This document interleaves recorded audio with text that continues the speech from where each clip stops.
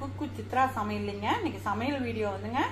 நம்ம வந்து ரவை வச்சுங்க. நம்ம பால் போலி செய்யலாங்க. இது நல்லா ரிச்சான ஸ்வீட்டுங்க. இது குழந்தைங்கலேருந்து இருந்து இருந்து நல்லா சாப்பிடு விரும்பி சாப்பிடுவாங்கங்க. வாங்க இது எப்படி செய்யலாம்னு வீடியோக்குள்ள போலாங்களா? பால் போலிக்கு தேவையான பொருள் எல்லாம் பார்க்கலாங்களா? பாருங்க நான் ரவா ஒரு கப் எடுத்து வச்சிருக்கிறேங்க. இதுலேயே அரை கப்பு சர்க்கரை எடுத்து வச்சுருக்குறேங்க. பாருங்க தேங்காய் வந்து ரெண்டு திருவி ரெண்டு ஸ்பூன் வச்சுருக்குறேங்க. பாருங்க ஒரு ஆறு ஏழு எட்டு பல்லு முந்திரி ஊற வச்சுருக்குறேங்க.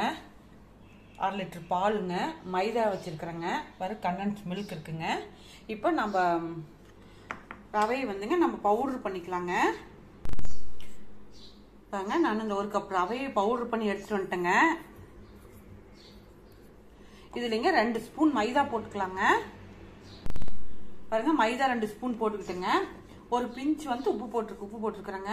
ஒரு பிஞ்ச் போட்டேங்க. இப்போ இது நல்லா நம்ம கொஞ்சம் கொஞ்சமாக அப்படியே பிசையலாங்க. நிறைய தண்ணி ஊற்றிடாதீங்க எடுத்தோடனே இப்படி கொஞ்சம் கொஞ்சமாக பிசைஞ்சிக்கலாங்க.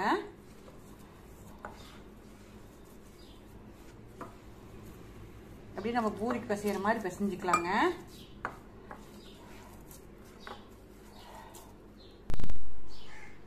பாருங்க நான் ரவை வந்து இந்த அளவுக்கு பிசைஞ்சுக்கிட்டேங்க. இப்போ இதுங்க ஒரு ஈர துணி வச்சு நம்ம மூடி வச்சிடலாங்க மூடி வச்சுங்க ஒரு பதினஞ்சு நிமிஷம் அப்படியே இப்படியே மூடி வச்சிடலாங்க பாருங்க இந்த மாதிரி நான் ஒரு பேன் அடிச்சிருக்கிறேங்க. இதில் இந்த அரை லிட்டர் பால் நான் அப்படியே ஊற்றிடுறேங்க இது அரை லிட்டர் பால் அப்படியே கால் லிட்டர் பாலாக சுண்டோணுங்க. பாருங்க இப்- பால் கொதிச்சுட்டு இருக்கிற நேரத்துலங்க நம்ம வந்து பாருங்க இந்த முந்திரிமுங்க இந்த தேங்காயை நல்லா பைன் பேஸ்டா அரைச்சிட்டு எடுத்துட்டு வந்துடுறேங்க. நம்ம பால் பாருங்க ஓரளவுக்கு நல்லா கெட்டியாவே ஆயிடுச்சுங்க. இப்போ இந்த ஸ்டேஜ்லங்க நம்ம பாருங்க பேஸ்டா அரைச்சி வச்சிருந்தோம் இல்லைங்க? பாருங்க இந்த மாதிரி நல்லா பைன் பேஸ்டா அரைச்சி வச்சிருந்தோம் இல்லைங்க தேங்காயும் முந்திரிங்க. இதை இதில் அப்படியே ஊற்றிக்கலாங்க கொஞ்சம் அப்படிதான் ரிச்னஸ் கொடுக்குங்க.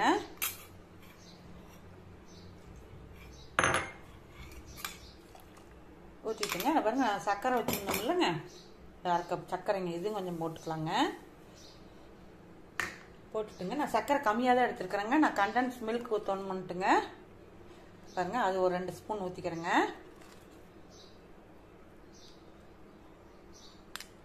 நீங்கள் வந்து கண்டன்ஸ் மில்க் இல்லைங்கன்னா சர்க்கரை ஒரு கப்பே போட்டுக்குங்க. பால் பாருங்க நம்மளுக்கு ஓரளவுக்கு திக் ஆயிடுச்சுங்க. இந்த ஸ்டேஜ்லங்க நம்ம ஏலக்காய் போட்டுட்டு அடுப்பு ஆஃப் பண்ணிக்கலாங்க.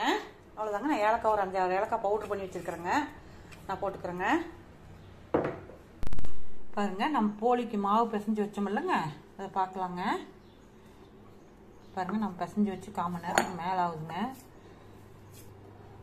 இதை வந்து நான் ஸ்லாப் நல்லா தொடச்சிட்டேங்க. இதை தொடச்சிட்டேங்க. இதை நம்ம கீழே வச்சுங்க. இந்த மாதிரி கட்டை இருக்குல்லங்க இந்த மாதிரி குழவிங்க. இது நல்லா இடிச்சுக்கோணுங்க.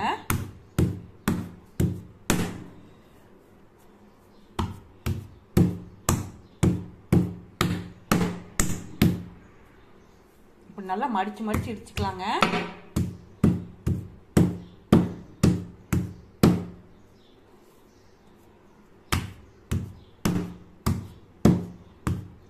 நான் அப்படியே இடிச்சு உடனே பிடிச்சிக்கிறேங்க. உருண்டை பாருங்க. எல்லாம் நான் இது மாதிரி நல்லா பிடிச்சி வச்சிருக்கிறேங்க. இப்போ நம்ம வந்துங்க நான் இந்த ஸ்லாப் நல்லா க்ளீன் பண்ணி வச்சிருக்கிறேங்க. நம்ம இதுலயே தேய்க்கலாங்க. கொஞ்சம் அப்படியே தொட்டுக்கலாங்க மைதா மாவுங்க. இல்லை வெறும் இதே கூட அப்படியே போட்டு தேய்க்கலாங்க. உங்களுக்கு வந்துங்க பூரி வந்து எவ்வளோ சைஸ் நீங்கள் உங்கள் சைஸ் இது உங்களுக்கு எப்படி வேணுமோ அப்படி போட்டுக்குங்க. சின்ன சைஸாக வேணாலும் போட்டுக்குங்க. பெரிய சைஸாக வேணாலும் போட்டுக்குங்க.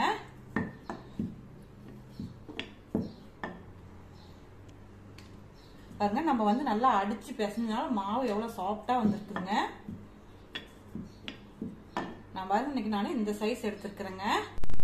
பாருங்க நான் அடைச்சிட்டு அடைச்சிட்டு வச்சிருக்கிறேங்க அடுப்புல. பாருங்க இப்போ இது எல்லாமே இதே மாதிரி எல்லாம் தேய்ச்சி வச்சிருக்கிறேன் பாருங்க. தேய்ச்சி வச்சிருக்கிறேங்க. இப்போ எண்ணெய் வந்து நான் வந்துங்க சன்ஃப்ளவர் ஆயில் ஊற்றிருக்கிறேங்க நீங்கள் வேணும் உங்களுக்கு இன்னும் நல்லா ரிச்னஸ் வேணா நெய் கூட போட்டுக்கலாங்க. நான் வந்து இப்போ சன்ஃப்ளவர் ஆயில் பொரிக்கிறதுக்கு ஊற்றி வச்சிருக்கிறேங்க. எண்ணெய் வந்து ரொம்ப காய விடக்கூடாதுங்க. நான் பூரி போட்டுருங்க.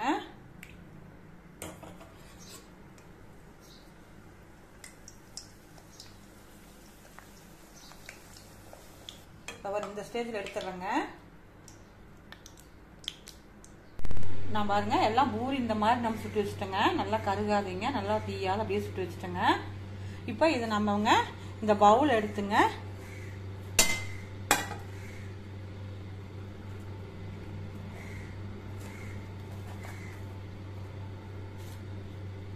மாதிரி அடுக்கிக்கலாங்க.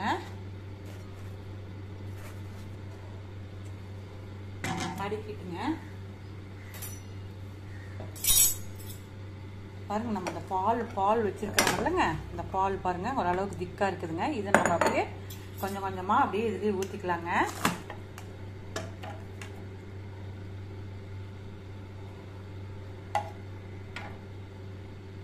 ரொம்ப இப்படி நம்ம ஊற்றிக்கலாங்க